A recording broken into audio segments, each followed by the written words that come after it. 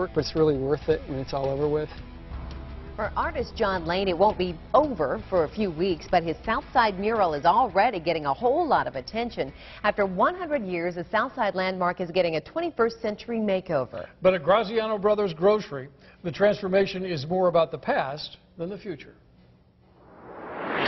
A while back, when Frances Graziano watched an old stucco facade come down at the Graziano Brothers Grocery, she loved the mess that was underneath.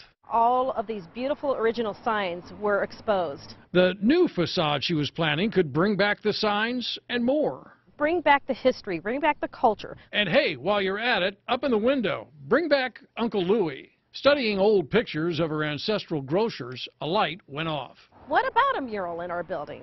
That would be very beautiful. We can we can incorporate some of the the original look without as much of the cost to restore that look. Enter artist John Lane. I always thought someday if we ever could do something like that, I want him to be the one to do it. Now, a lot of people in these parts are familiar with Lane's work, from museums to retirement homes. Yeah, she got a hold of me. That, So they came up with a wraparound mural that combines heritage, art, advertising, and a little whimsy. so what we did was we um, tried to emulate like the canopies and the, the large picture windows. If you look above me, you can see that we sort of replaced, painted the windows back in. People used to live upstairs. Eventually, some pedestrians will be added.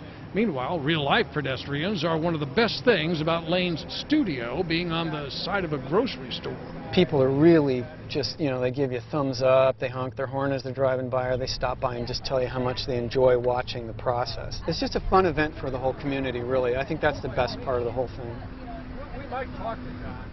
Now, John says he expects to be done in about three weeks, weather permitting. He's usually there about 10, even 12 hours a day, and says he appreciates all the support from neighbors and the amateur sidewalk art critics.